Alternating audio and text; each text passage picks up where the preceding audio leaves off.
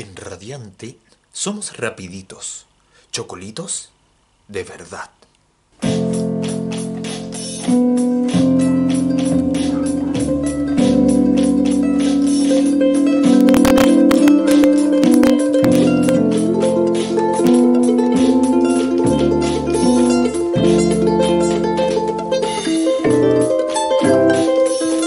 Sean bienvenidas y bienvenidos video escuchas a una nueva emisión de Radiante, su emisora, educante y etcétera. En esta oportunidad vamos a ver eh, lo que nos diga la llama. Veremos qué contenido nos sirve en bandeja. ¿Será alguna figura rítmica nueva? Ah, vamos a ver. Muy bien, por fin, por fin llegó el momento de ver la semicorchea y su respectivo silencio. Abordaremos esta figura de una manera bien práctica, con ejercicio vamos a poner en juego lo que es algo muy importante de la música, más allá de lo escrito que es importante, pero más esencial en la música siempre es lo que suena y es la expresión, cómo yo expreso, cómo cómo materializo aquella cosa tan inmaterial como es el sonido, que igual es material, que es un objeto, que con ciertas características muy especiales y que nosotros lo percibimos y solamente existe para nosotros porque tenemos todo un sistema perceptivo, un sistema nervioso y, bueno, y todas esas hierbas, como ustedes sabrán. Rápidamente desentrañaremos lo que es eh, la semicorchea, su aplicación y de qué manera se presenta más comúnmente para nosotros. Para abordar la semicorchea, la veremos desde el punto de vista más práctico en que uno la va aprendiendo en la teoría musical, en la lectoescritura, y que es con una forma que va a aparecer en esta sucesión, ya la vamos a sacar. Y para eso partiremos de las figuras anteriores, que ya las sabemos. Breve repaso, mínimo repaso. La negra, igual a dos corcheas, se divide en dos corcheas y esas dos corcheas se subdividen a su vez en la semicorchea. Y aquí está la magia de todo. De una corchea salen cuántas semicorcheas? Dos. Muy bien, dos. Y las escribimos igual juntas. Y recordemos que como la semicorchea tiene dos corchetes, estas también van a tener doble corchete. ¿Sí? Y de esta corchea también salen dos semicorcheas. Las anotamos ahí. Doble corchete porque es semicorchea. Entonces tenemos cuatro semicorcheas. Generalmente estas cuatro semicorcheas no se presentan en grupos de dos, agrupadas en dos, dos y dos, sino que se agrupan. Por lo tanto, pasan a ser esa figura, que es clave. Esta figura es muy importante en la música, en realidad la usamos mucho, porque de esta figura después vienen unas variantes que vamos a ver más adelante, que son, son figuras rítmicas que se usan de forma efusiva, copiosamente en la música y define ciertas rítmicas. Ya lo veremos. Y esta figura es tan importante que tiene un nombre. Su nombre es cuartina. Ahí está la cuartina. Bueno, ¿por qué no le pusieron Martina o Agustina o Luperfina? Eh, no lo sé, se llama cuartina. Bueno, cuartina de, del cuarto. Este es un cuarto de tiempo, recordemos. Tiempo, medio tiempo, un cuarto de tiempo. Cuartina. Ah, por eso se llama cuartina y no luperfina. Pero con esta figura pasan cosas simpáticas porque uno cuando la estudia no le dice cuartina, le dice de otras maneras, ya la veremos. Recordemos esto, eh, la síntesis es la siguiente. Ahí está, la síntesis. Una negra, sabemos que vale un tiempo. Y una negra, una negra es igual a cuatro semicorcheas, es igual a la cortina en valor. Por lo tanto, la cuartina también vale... Oh yeah!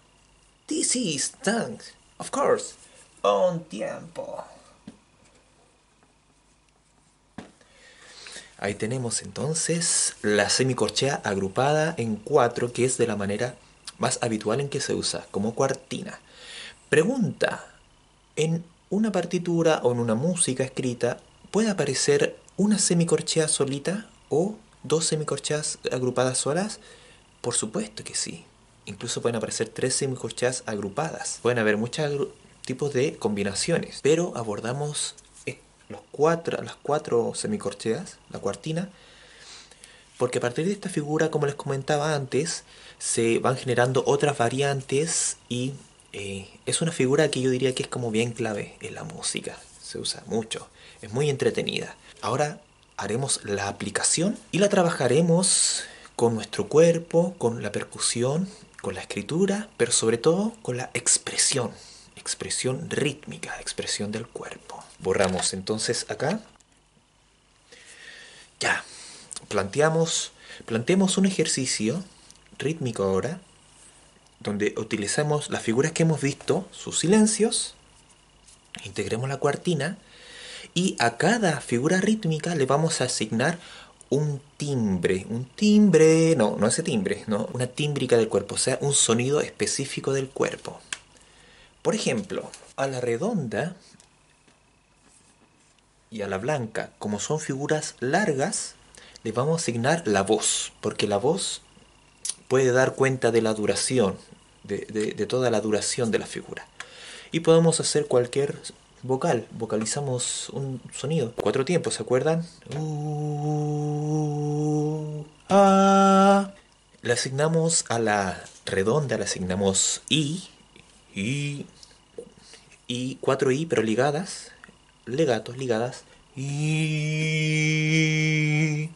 y a la blanca le vamos a asignar una A. A, dos tiempos. A. A la negra le vamos a asignar el chasquido. Seco. Bueno, como mucho instrumento de percusión, como esta percusión con el cuerpo, van a ser sonidos eh, no tónicos y eh, secos, con poca transiente. A la corchea vamos a seguir estudiando por ahora la corchea agrupada en dos. Corchea le vamos a asignar palmas. Puntos. Puntos.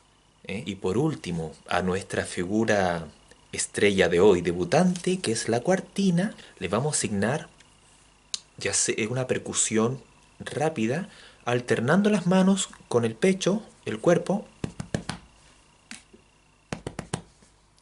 Ta ta ta ta. Las rodillas. Muslos. Puede ser pecho, muslos.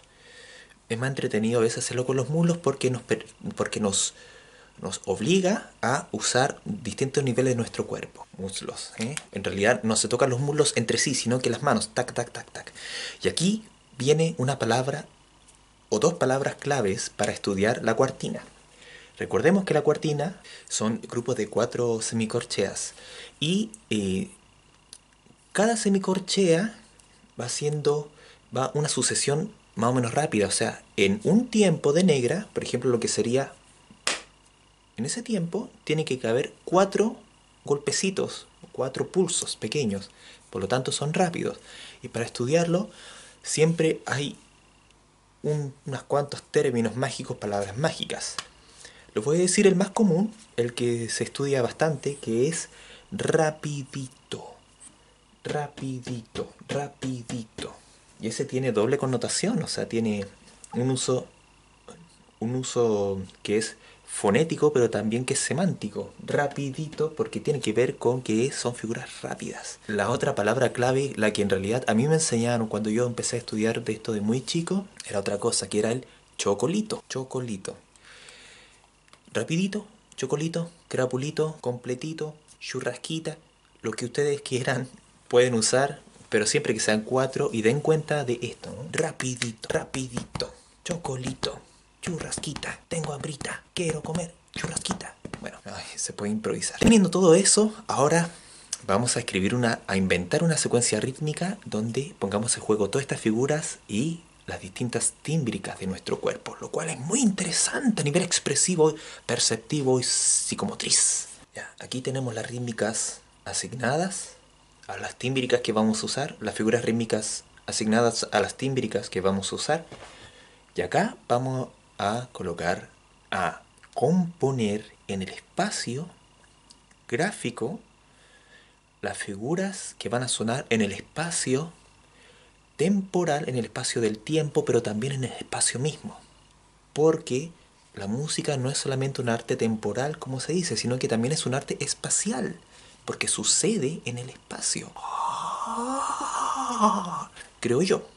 Bueno, en realidad estoy chamullando. Bueno, ahí en los comentarios usted dice si está de acuerdo o no, o, o qué pasa con eso. Bien, ahí tenemos un ejercicio que vamos a leer como la música de, de izquierda a derecha y desde arriba hacia abajo, como la lectura que hacemos acá en Occidente del lenguaje, de la lectura y también de la música.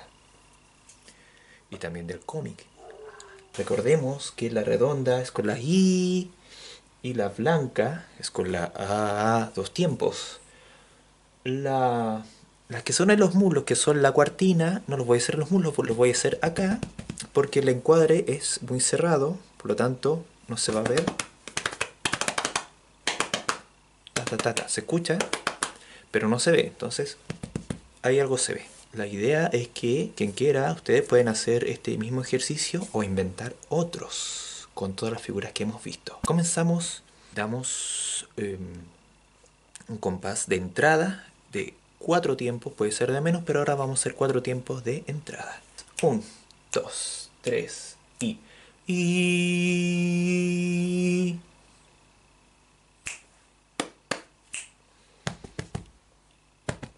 Ah. y... y ahí tenemos el ejercicio. Podemos jugar con las dinámicas.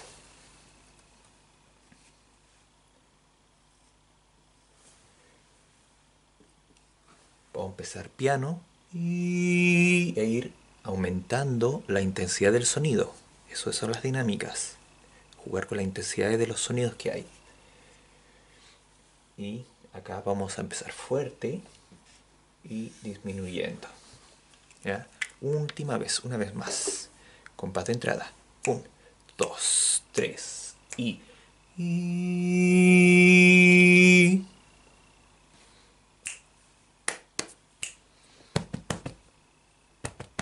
Ah,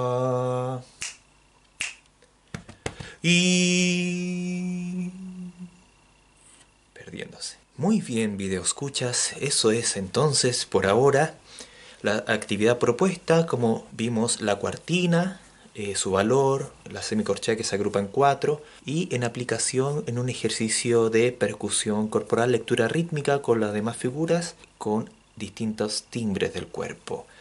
Porque aunque usted no se haya dado cuenta o quizás ya se dio cuenta, usted que es habiloso, habilosa, ya se dio cuenta de que usamos el instrumento más antiguo de la humanidad, más antiguo del mundo.